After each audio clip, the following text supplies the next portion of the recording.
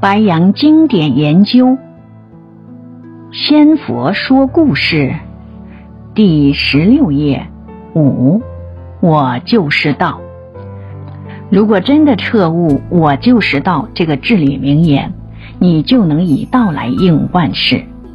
就像过去你们都是想，你很需要水，你要用水来做什么事？水有什么作用功效？而你既然要用水来做这些事，达到水的作用功效，那你就会选择要用哪里的水。而你无论在哪里，都因为水的相通性、融合性而一直遇到被污染的水，所以你无法用被污染的水来达到你想要达到的作用功效，因此你痛苦。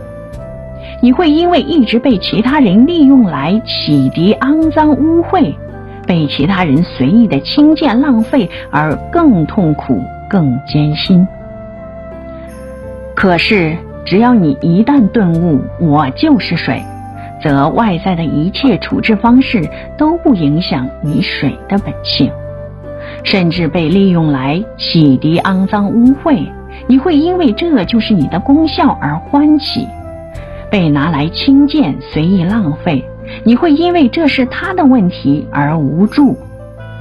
随着各种需要打破一切限制，感冒任何危险，只要在越制造炎热无法生存的时候，因为我就是水，所以升华自己友情大爱，化为气态，释放一切形象上的尘垢油污。自然能回归为天上美丽的云彩，再一次适时的滋润洗涤人间。